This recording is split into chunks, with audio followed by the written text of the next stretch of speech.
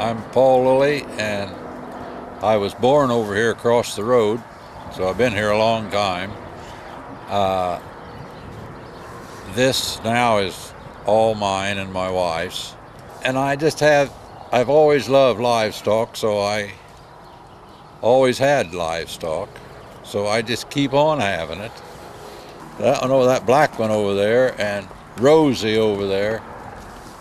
Uh, they're miniature cows, and they're both three years old, and I'll have them bred this spring. I'll have maybe some more then, but I've just got two now. My wife wanted a miniature horse. She saw one at the nursing home, and we went to look at one. And when we went to look, why the miniature horse went to the other end of the pasture, and the donkey stayed there. And I said, if we're going to do this for the grandkids and the great grandkids, we're going to get a donkey. So we got started in the donkeys.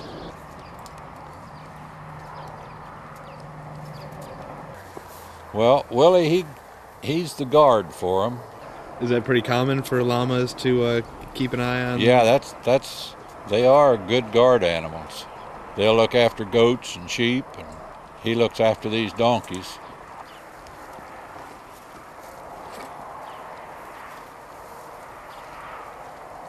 When when they're a day old, they'll just come to you and let you pet them.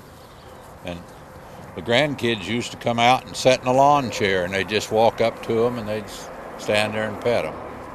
They've got different attitudes. We had one that if you didn't pet her when you came in, why, pretty soon she'd be pushing you from behind. She'd come up behind you.